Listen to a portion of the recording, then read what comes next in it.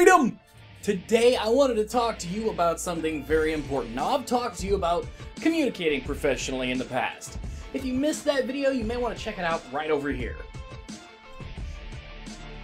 What this video is about is about learning how to apply that to changing your situation, so to speak.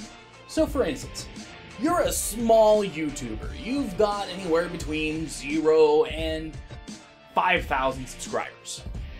Now, many companies do not really, they don't exude a kind of presence that makes you think that they would want to work with you. However, you would be surprised what a well-worded email will do. For instance, on my me channel, I sent out an email with no real explanation of who I was or what I was planning on doing. And I sent this email to SteelSeries. They sent me this. This is a review unit of a SteelSeries Stratus. It's a new product that they have that only works with iPads, iPhones, and iThings, 5th generation and above.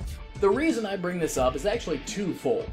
One, because all I did was, in a very professional way, laid out that I, who I was, some guy named Anthony Smith, and that I wanted to review their product and do an unboxing and a review and possibly do some sort of giveaway at the end. So, of course, on my Me channel, I've already done the review and unboxing, and what we have here is the giveaway part. So, if you're a YouTuber who does things with iPad devices or iPhone devices, let us know in the comment section down below. And if I see things on your channel from, of course, iPad or iPhone or whatever, you have a very good chance that I'm going to pick you to win this as part of a sponsorship. But then again, that all depends on you. In the comments down below, what I want you to do is I want you to write me a very professional letter. I want you to tell me who you are, what you plan on doing with it, and in one sentence, why you think that I should choose you. And I want you to make it sound like a business letter.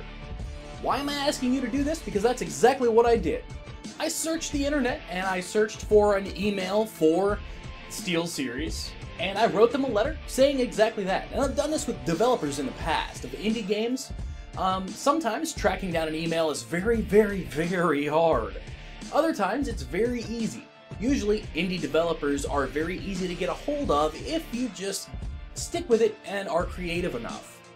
So, Freedom, what are you waiting for? Let me know in the comment section down below if you think this will help you. Comment question of the episode. Have you ever reached out to a developer or a hardware manufacturer for a review product of any sort? Do you like this? If so, let me know down below, and if I get any more review units that I have no use for afterwards, I might do something just like this. Also, if you have any review units laying around, keep in mind, we do have Gear Locker that is designed for helping matchmake people who have gear like this and want to give it away to people who can use it. Till next time, I'm Anthony with Freedom. Like, subscribe, comments please.